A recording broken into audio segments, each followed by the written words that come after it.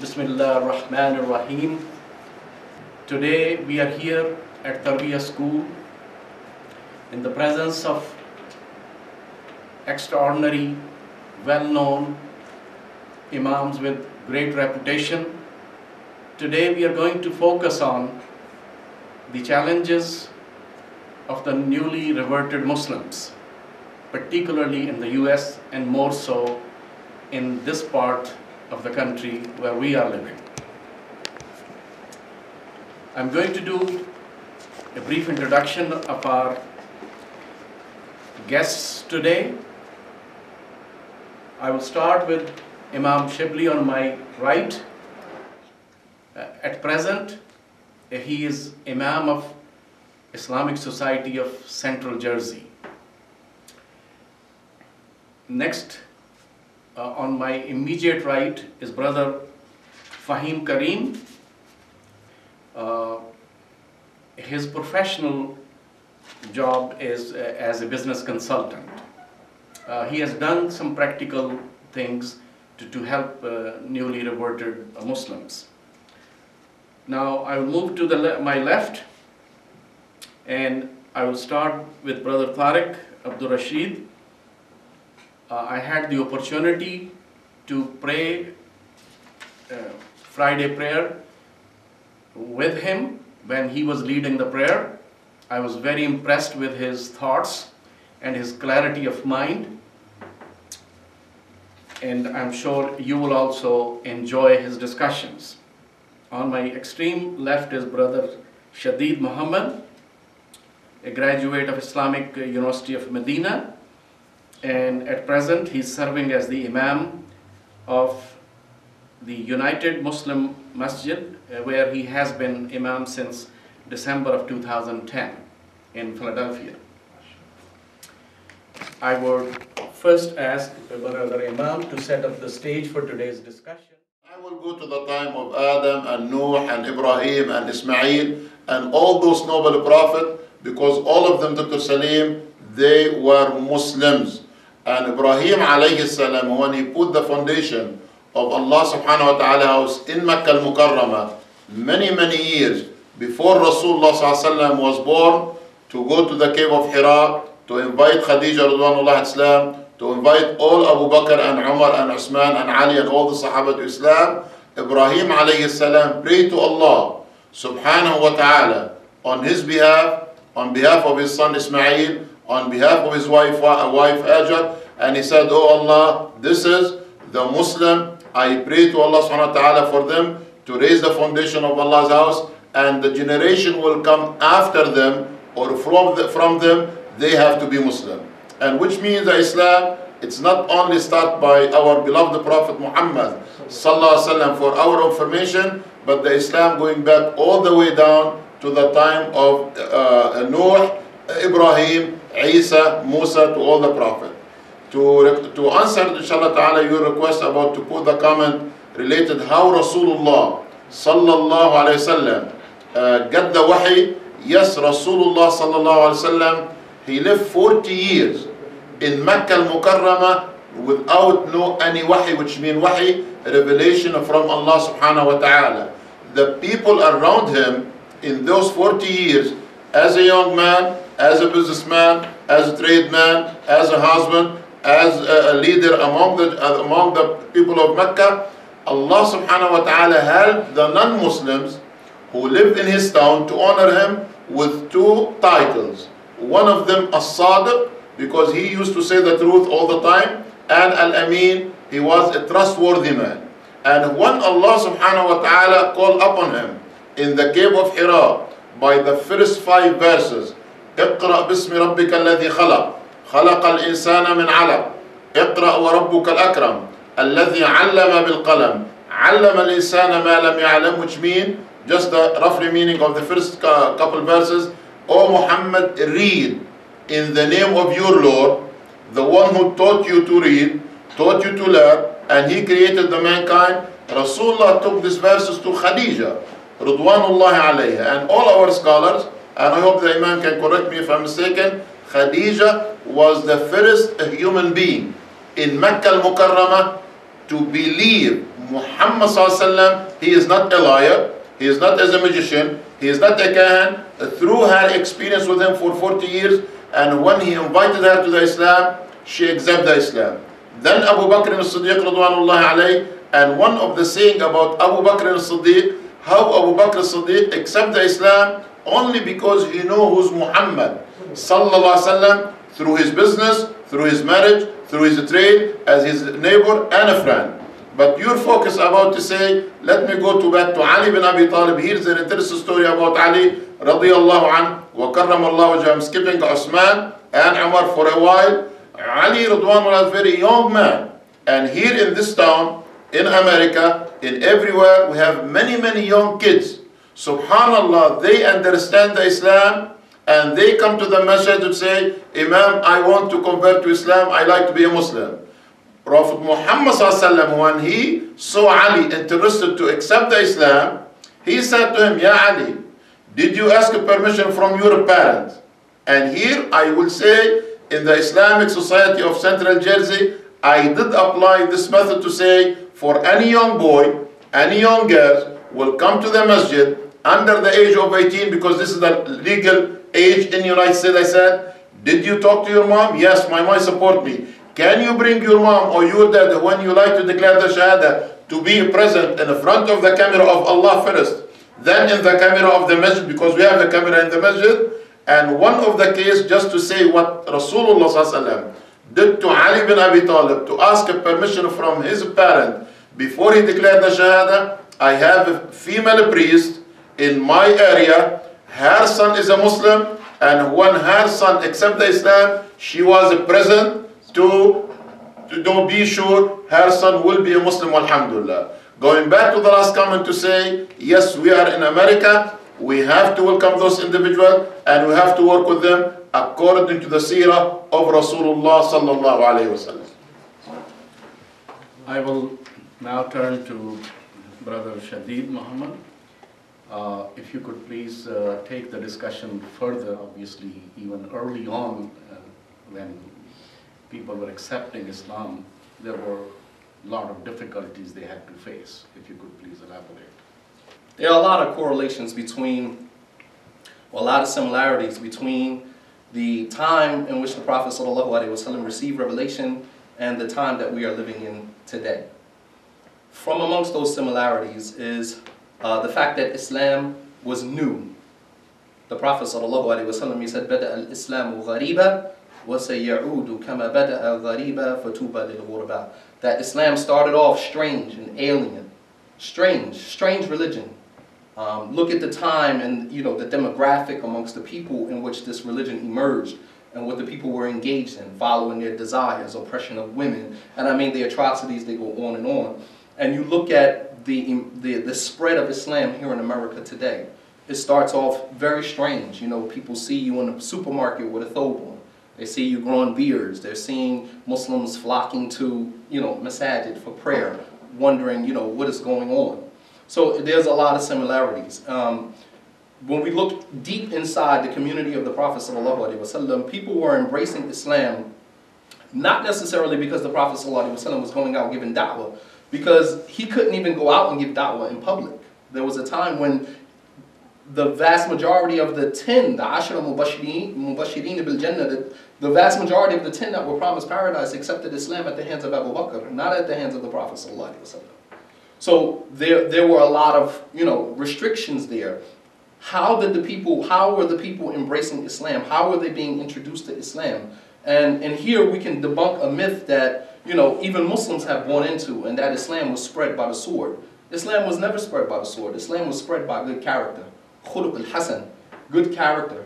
People would hear about the Prophet Prophet's character and, you know, be so impressed with what they heard that they would embrace Islam solely based upon that fact alone.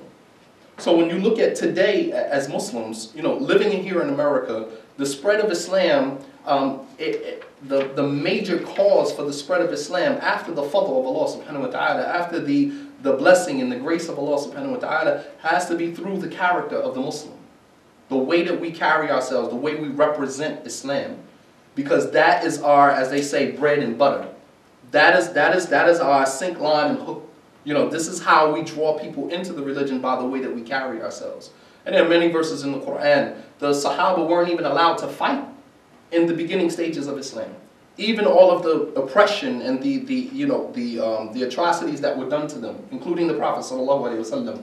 He was praying at the Kaaba and he went down into sujood. And Abu Jahl and some of the chiefs of Quraysh were talking of who would grab um, a bucket full of pig intestines and dump it on the back of Muhammad. And they dumped it on the back of the Prophet ﷺ while he was in sujood. Did he jump up and fight someone? Did he jump up and curse someone? Did he jump up? No. Abu Bakr anhu, he ran over there, he pushed it off of the back of the Prophet ﷺ and he said, Ataqtulu rajulan Rabbi Allah. Will you kill a man simply because he said Allah is his Lord? Will you kill a man simply because he says Allah is his Lord? They use logic and they, as Allah says in the Quran, idfa' billati ahsan, that you repel evil with what is better. Because in certain instances, that is the best method. That is the best way to approach a situation. And then in some instances, um, to you know take back your haq, to go and get what is yours, is the best way. So when you look at the you know beginning stages of Islam, it was more so about representing Islam and the character of the Muslim, as opposed to um, you know uh, highlighting or accentuating the beautiful tenets of the religion. You know, we tend to say we're going to take this religion out to the non-Muslims and we're going to tell them about zakat and we're going to tell them about hajj and we're going to tell them about this and this and this and then we forget about husn khulq. We forget about good character. People, as, I'm just going to step outside of the Islamic realm for a second, 70% uh, of communication is nonverbal which means that the vast majority of what people are paying attention to is not what you're saying. 70% of communication is nonverbal, which means that people are not so impressed with what comes out of your mouth, but they're more impressed of your character and how you carry yourself. Wallahu ta'ala. Thank you very much, uh, Jazakallah. Now I will turn to uh, Imam uh, Tariq. Um, if I could take this opportunity to ask you, what has been your experience, and briefly if you could go back to the time when uh, you were not a Muslim, and uh, what motivated you to revert? Basically, um, I was raised Christian. And I remember my first encounter with a brother, his name was Shabash. And he uh, came to me and he spoke. He said, you know, you'll make a good Muslim. He said, I said, well, I believe in God. He said, well, what do you say about Jesus? I said, well, they say he's the Son of God. So he told me the story of Maryam.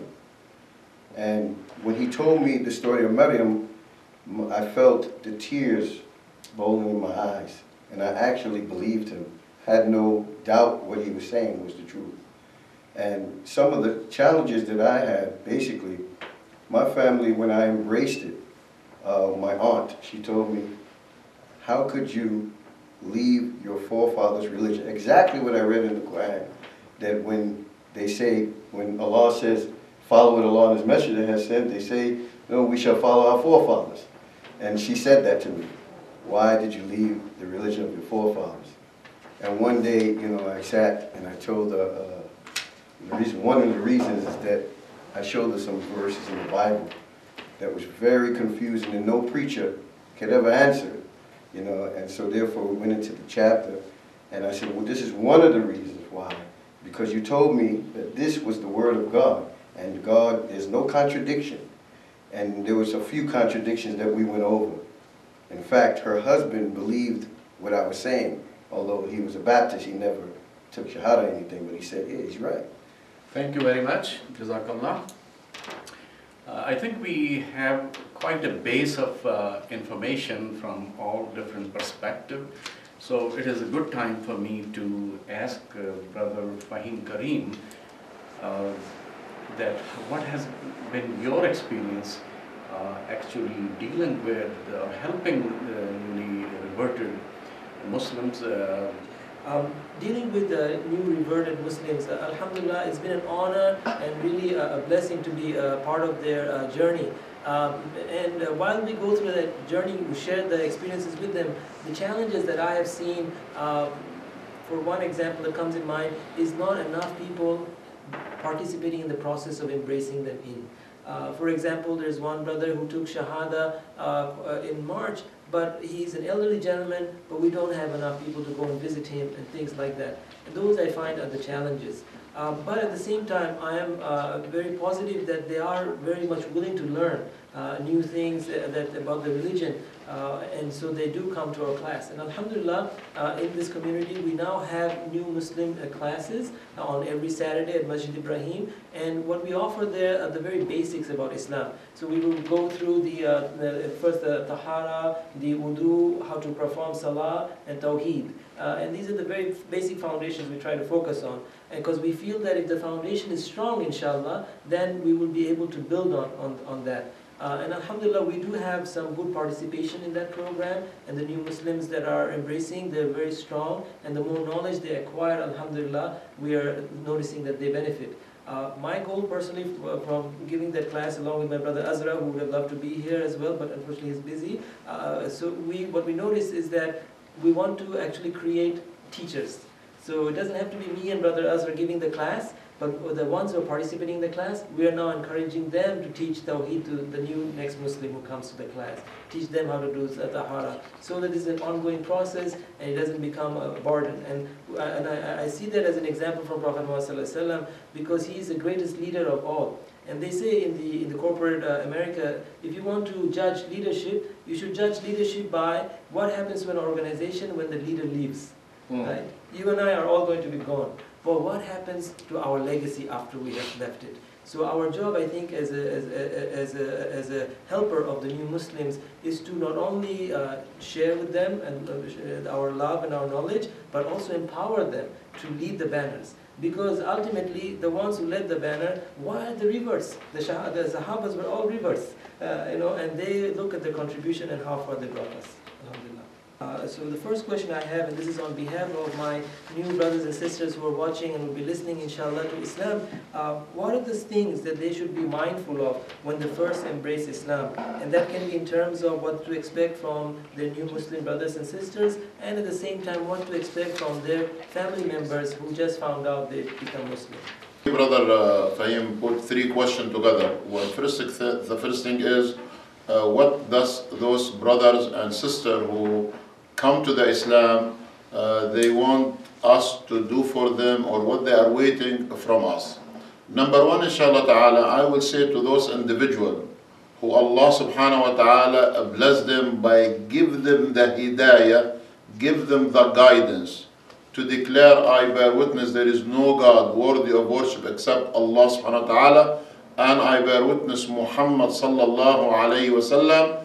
We encourage them to read and read and read and reflect what they are reading from right sources about Islam, not about Muslim. And I agree with my two respect my Imam to my extreme left side to say no, don't take the Islam from Muslims, but take the Islam from the right source. Don't judge the Islam by the Muslim, but judge the Muslim by the Islam. Which means the first step for them, I would say read, reflect, take a note, study the Islam. This is before you come to the masjid to say, I want to convert. And for my uh, request to my our audience, our viewer, our host in the masjid, English is not my mother language.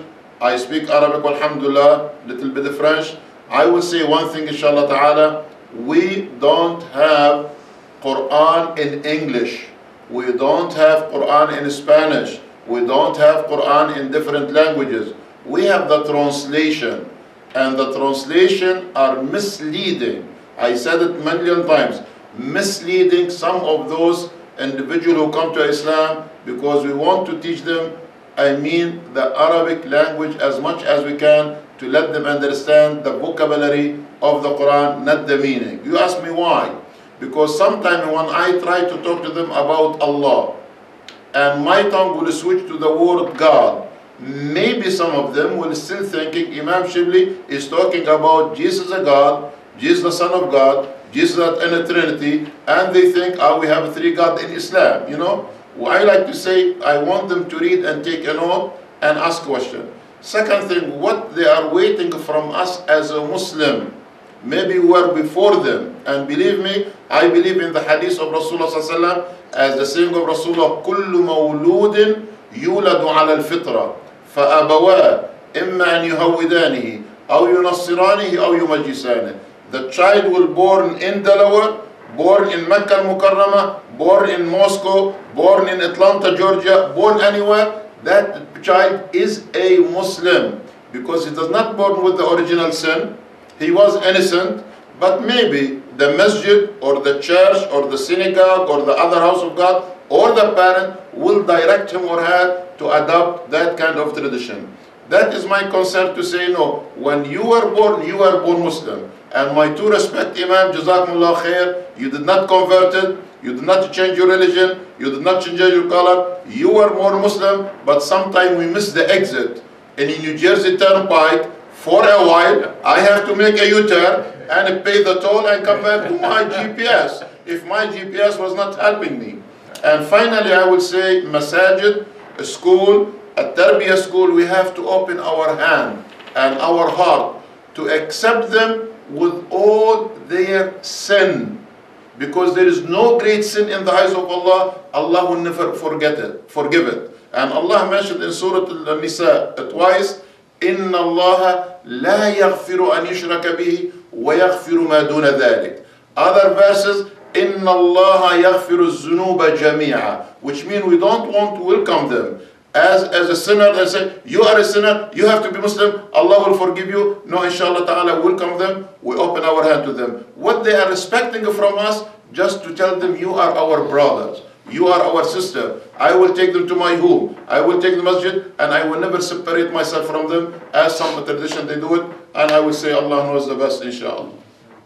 As for the new Shahada, he has to understand that transitioning from one religion to another religion or from one belief to another belief, um, that is abnormal. People don't normally change their faith.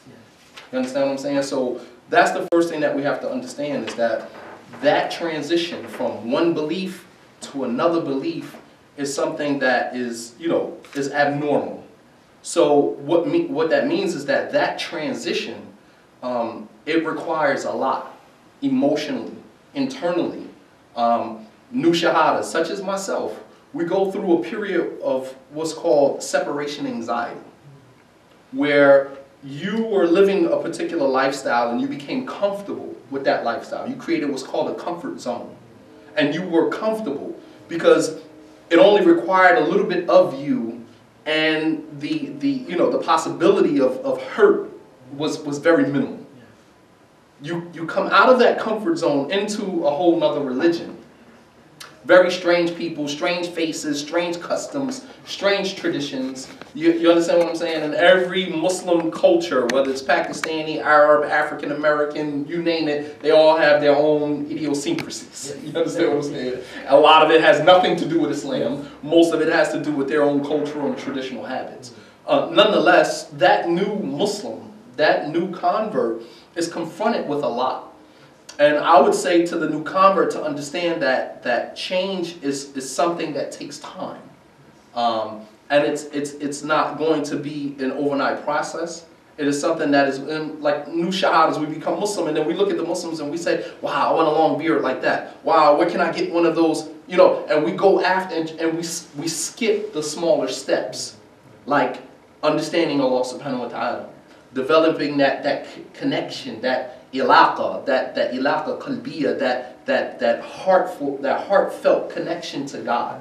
You understand what I'm saying? Because most of us, when we came from Christianity, um, and I'm going to speak for myself first and foremost, that coming from Christianity, like there was no heartfelt connection to God. Because there was no connection to God. There was a connection to Jesus.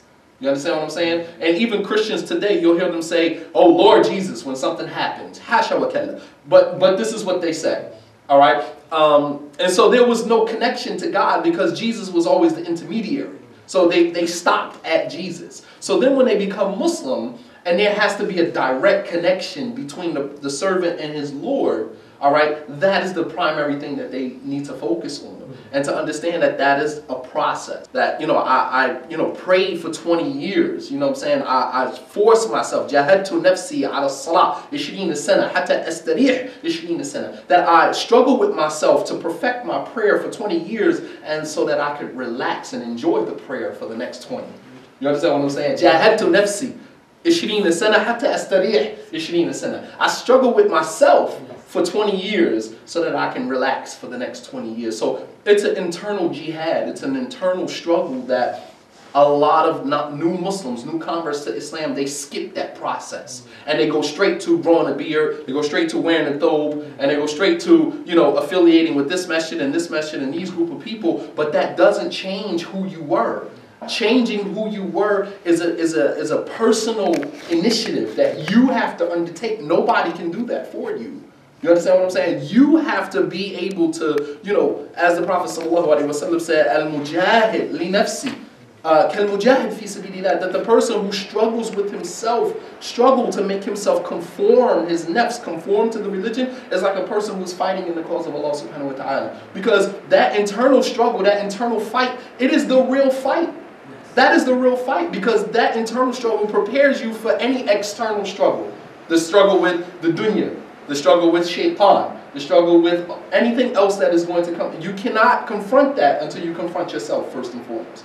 And this is what a lot of new Muslims, they miss that, that segment. They miss that portion of their conversion, their transition. And so you'll find them five, six, seven years into Islam and they still function like new shahadas five, six, seven, eight years they've been Muslim. You ask the brother, how long you been Muslim? Without you did the Fatiha. And he doesn't even, can't even recite al-Fatiha perfect, perfect. And he's been Muslim seven years, ten years. You ask him some of the basics of wudu. You ask him some of the basics. As Imam Shafi'i, rahimahullah ta'ala, um, one of his students came to him and asked him about something, yakhudu fi, fi ilmillah. Yani he was delving deep in some of the, in, you know, uh, matters of the unseen related to Allah subhanahu wa ta'ala. And Imam Shafi said, before I ask you the question, I'm going to ask you some questions about wudu. He asked him some questions about wudu. So the, the student, he said he didn't answer any question right. So Imam Shafi said, I'll take it further and I'll break the question about wudu. I'll break it down into five different sub-questions. He said that I wasn't, I didn't answer any of the questions right. And Imam Shafi says, Subhanallah, شيء تحتاج إليه خمس مرات في اليوم لا تجيده وتسأل عن علم الله that something you are in need of five times a day that you're ignorant of. But then you're asking me about something that Allah subhanahu wa ta'ala did not make you, will not make you accountable or responsible for knowing. So this is the same thing. Imam Shafi was drawing his attention to what was more important. Mm-hmm. And I think that with new shahadas, we have lost that focus. The focus is, mashallah, you need to, you know, put on a thobe. Or brother, you know, you shouldn't wear jeans. Khali, khali, wali, leave the jeans alone. Don't worry about his jeans. Don't worry about his beard. Worry There is about no him. Jews in Islam, brother. Yeah. I mean, those things are not important. Those things will change by default of him changing his heart.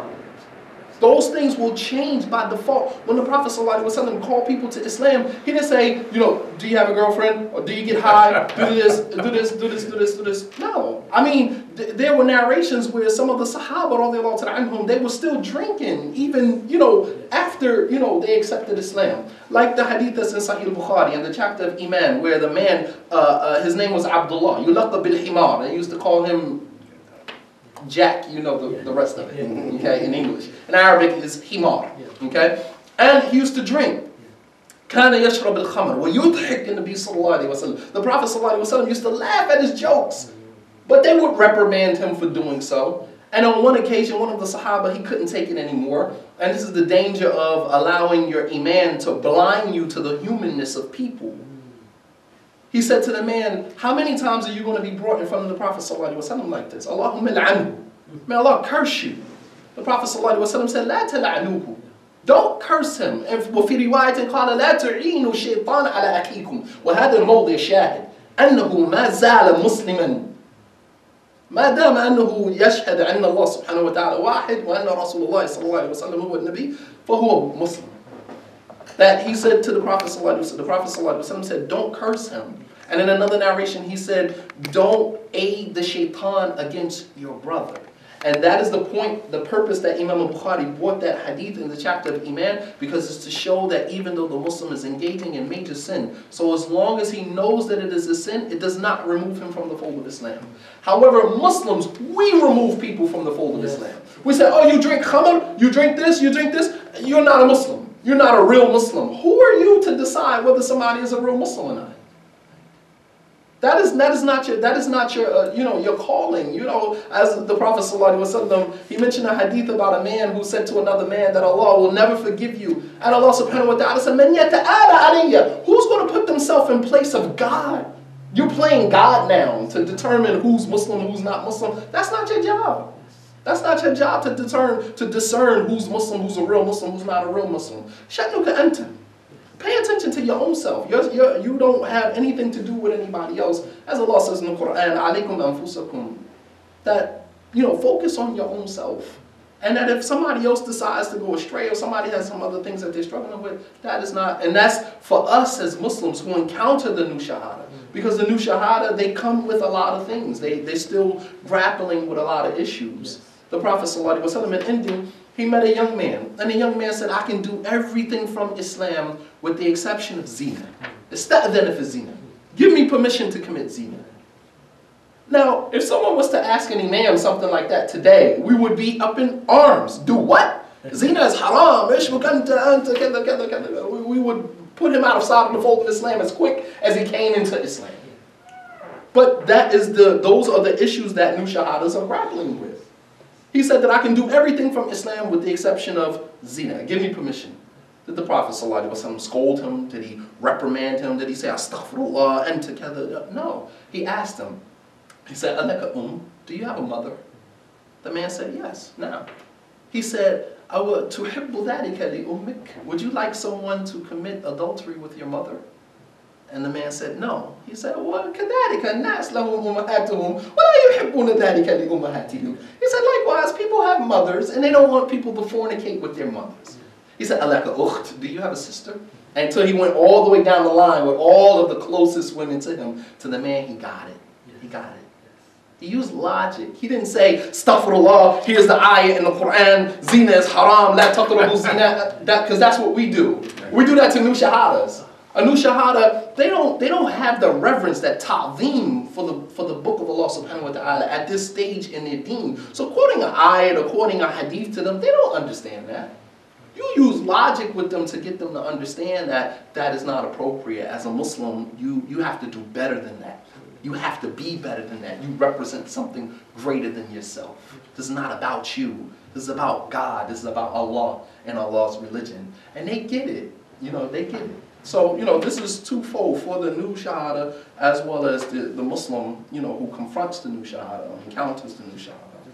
Um, Brother Tariq, uh, Rashid, Jazakallah khair, you already gave your insight, mashallah, beautifully. If you could kindly build on a little bit on uh, what are the, some of the other shahadas that you've seen, what are the challenges they can expect from the family? Oh, Bismillah. Yeah, one of the things also that to keep in mind is that the new shahadas, their challenge, of course, a lot of them have to go back to their mothers and fathers and things of that nature. And so therefore, one thing they should keep in mind is not when they become Muslim, they want to change the whole process in the home, start taking down the pictures, you know, I don't eat pork anymore, and all the whole works, you know, uh, because basically, again, as you know, Shadid was saying, you know, change is a process, not an event. So things uh, take time, you know, and a lot of times uh, they get zealous, you know, and things of that nature. So it, the, the best way for the new Shahada is to, again, based on the teacher too. Because a lot of times we uh, invite people to Islam, right? It's like when we go in the street, we see a guy we ain't seen in a long time. Hey, let me get your number. Yeah, okay. Y'all be calling you. You never hear from them. Sometimes new shahadas come in the same way that we don't, we expect them to be on the level that we are, you know? And so therefore we invite them in Islam, but we don't give them that, the initiative to, to keep them together.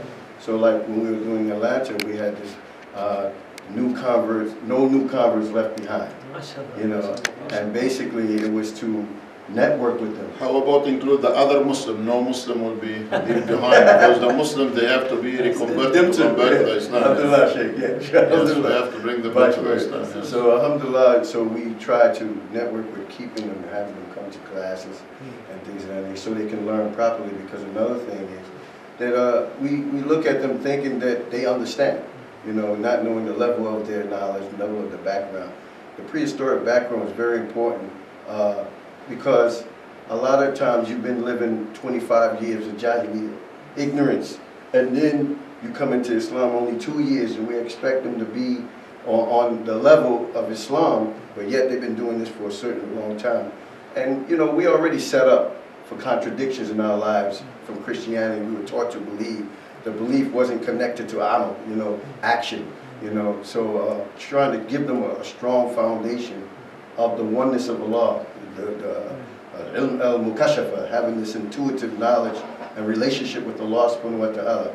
And, and ilm al-amal, the, the social conduct of, of, of applying that, you know, and things of that. So it's very important that we uh, keep the non uh, converts into perspective in the classes, teaching them Islam, and not just some one day they come to Juma and things of that but teaching them effectively.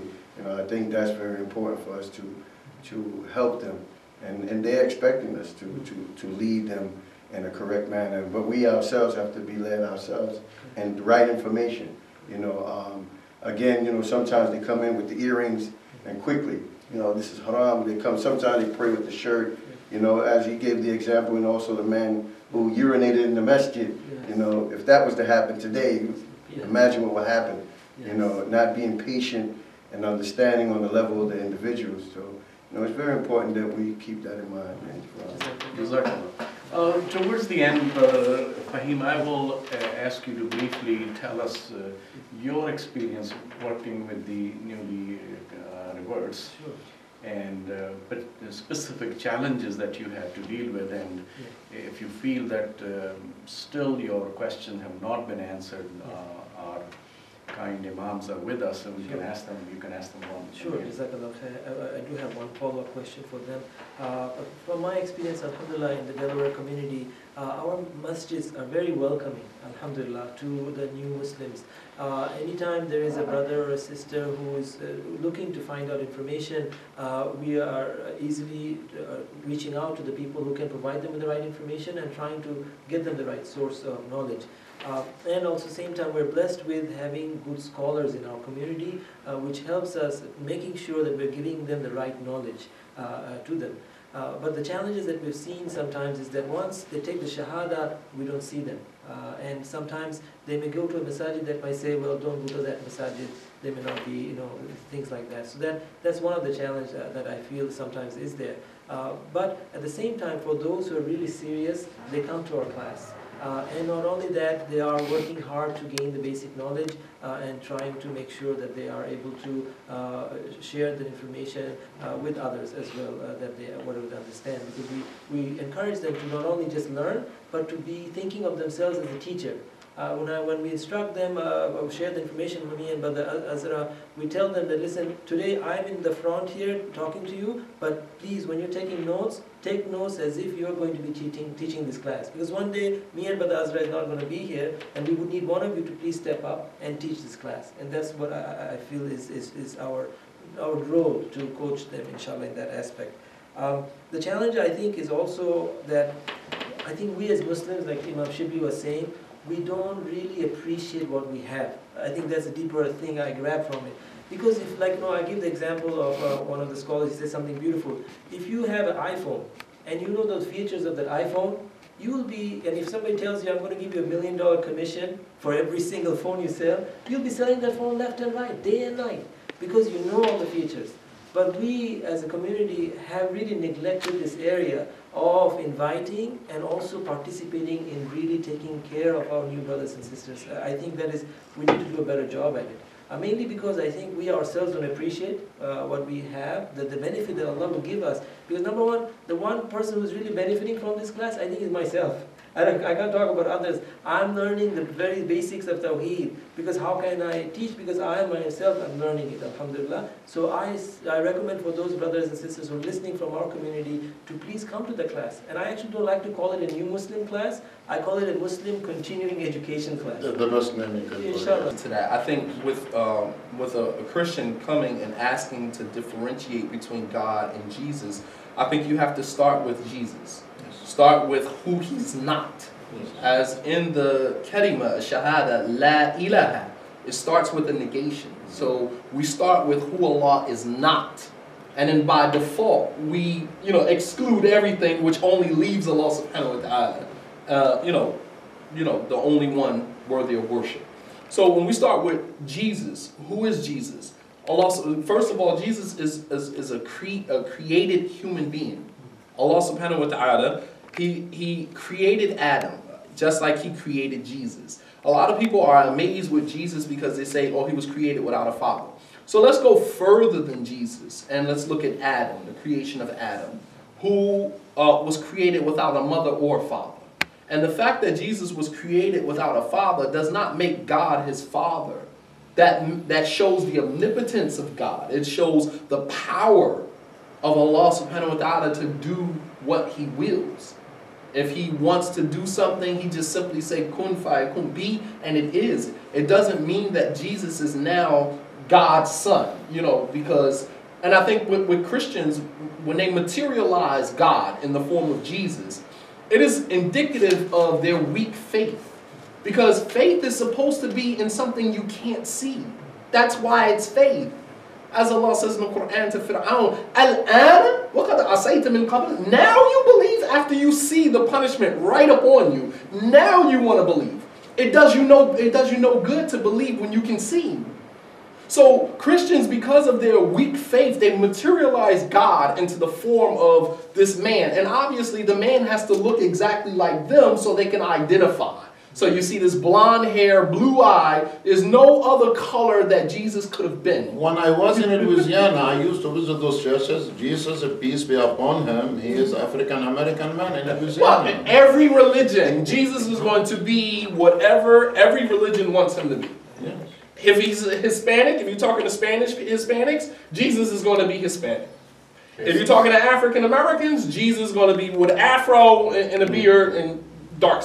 So when you when you go into the concept of you know debunking who Jesus is not, it automatically clarifies to you who Allah subhanahu wa ta'ala is. You know, so when we say that Jesus is not God, not the Son of God, uh, as Allah mentions about Prophet Muhammad, that he is not a kahin, no matter who would be called a kahin, and he's not this, he's not a liar, he's not, and then Allah says, now where are you going to go? After you debunk everything there's nothing left for you to accept except Allah subhanahu wa ta'ala as the only God, the only one worthy of worship. The first experience I got here in the United States in, in 1980, uh, 1982 when I landed down in Louisiana.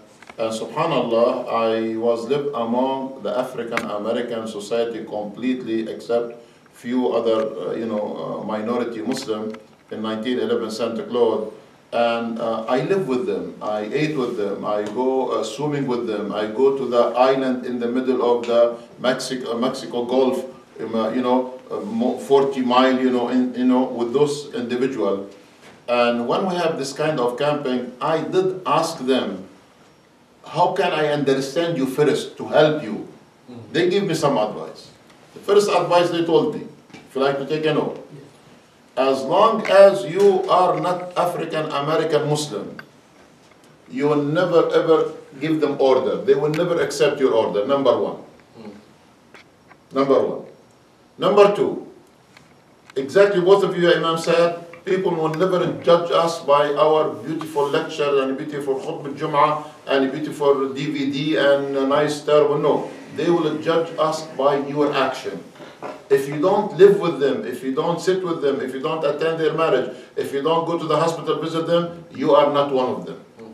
Number three, after I moved to the north, as you know, Jesus is different from north to south, as I see it in more interfaiths, and we respect them. We, our neighbor, you know, we never, I mean, uh, say any good word, any bad word except the good word about them. Uh, uh, one day I find them coming to the Islamic Society of Central Jersey to declare the Shahada. The first thing I have to record in my computer, the name, the address, the telephone number, the background little bit, they give it to me in a little bio as Dr. Salim took our bio to send it to the camera. And every occasion, fundraising dinner, uh, death, uh, marriage, uh, lectures, conference, Ramadan, we have to invite them with the best card. We have it in the market say, we did honor you because you are my brother, you are my sisters. Not only that, we are not far away from Rutgers University for the record because in New Jersey is Rutgers, Rutgers in New Jersey, as you know. Anyone through the MSA accept the Shahada in the Rutgers, we ask the student of Rutgers to bring him to the masjid or bring her to the masjid, to the other masjid, not only ISCJ. We have MCMC, we have couple massages to be part of it.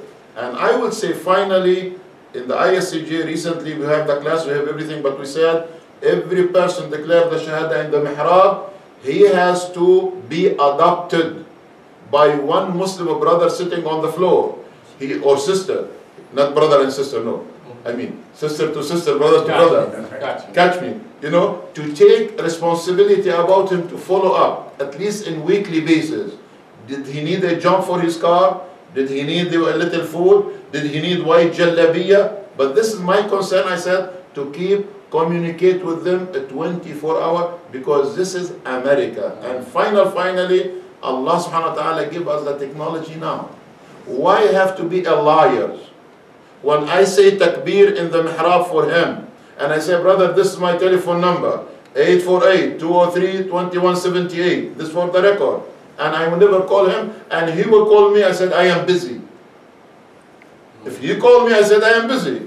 And I never call him. How is going to be accept the Islam? Which means, brother, we have to work up to the level of to communicate with those individuals as United States give us the opportunity to be American, to be proud to be Muslim, and American by, you know, uh, not relation, but to say I have to create a communication line between me and every brother, every person, and my our message is open for them. And I think that one of the communication I use it, and I ask Allah to accept it, inshallah. To summarize uh, some of the things we learned uh, from our beautiful scholars here, Alhamdulillah, uh, is that uh, to encourage, first of all, for our new brothers and sisters in Islam, we encourage uh, you to first read and reflect upon the right sources of knowledge. Uh, rather than delving too much into the outer, outer practice, concentrate more on the inner, the inner self.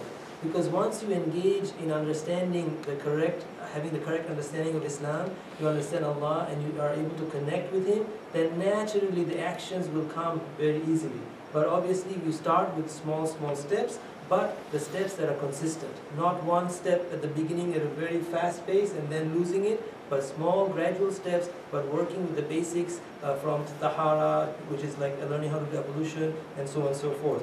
Uh, and I also appreciate uh, the feedback is that to engage in the process to understand the language of Arabic. Like the uh, Imam Shibli had mentioned, is that Quran, we sometimes make the mistake of saying this is a translation of the Quran. There is actually no translation of the Quran. There is a translation of the meaning of the Quran.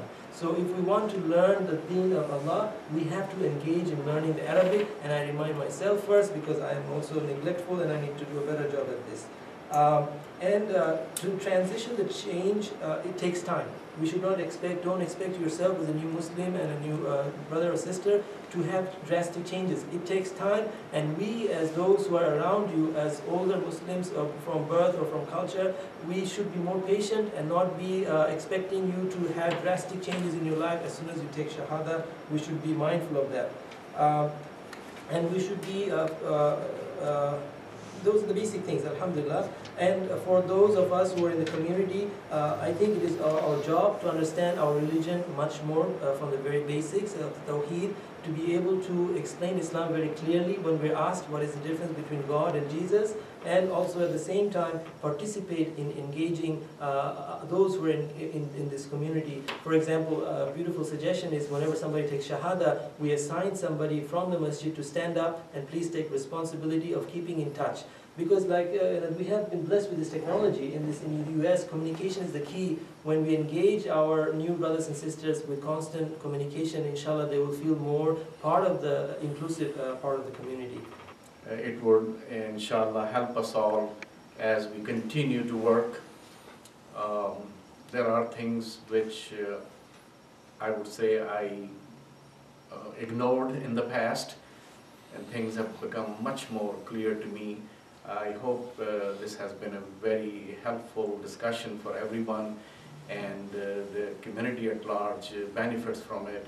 Uh, Once again, I would like to thank all the panelists uh, who are here, and uh, may I ask uh, Imam to pray for all of us? I pray to Allah subhanahu wa ta'ala on behalf of the masjid, on behalf of the school, and behalf of our host. May Allah give you the Jannah. May Allah bless you. May Allah bless your family. And if we have any mistake, we ask Allah subhanahu wa ta'ala for for- forgiveness. Surely we have a mistake. If we accomplish something today in the house of Allah, maybe Allah reward all of you. And we come with the conclusion say, أعوذ بالله من الشيطان بسم الله الرحمن الرحيم والعصر إن لفي خسر إلا الذين آمنوا وعملوا الصالحات وتواصوا بالحق وتواصوا بالصبر صدق الله العظيم وآخر دعوانا الحمد لله رب العالمين.